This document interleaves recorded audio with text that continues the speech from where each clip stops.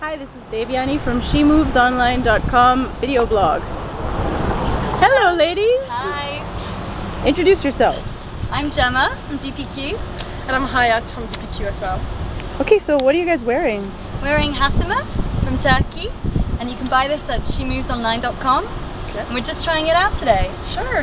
Very nice burkini. Makes me feel um, like uh, fresh inside, even though it's really hot today. Yeah, it's 45 degrees. Yeah. How, how is it feeling?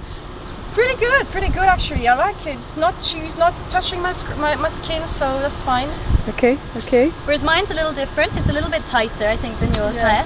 Um, but that's great for me because I've actually got a skin allergy, so um, it protects me from the sun and stops me getting rashes. So it's perfect. Okay, all right.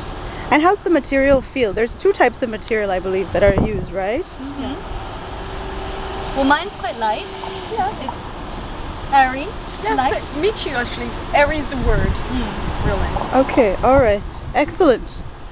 So there's a celebrity I heard that wears the burkinis. Yes, Nigella. Nigella wears it. Okay, so you're going to be following in her footsteps. We are indeed, yeah.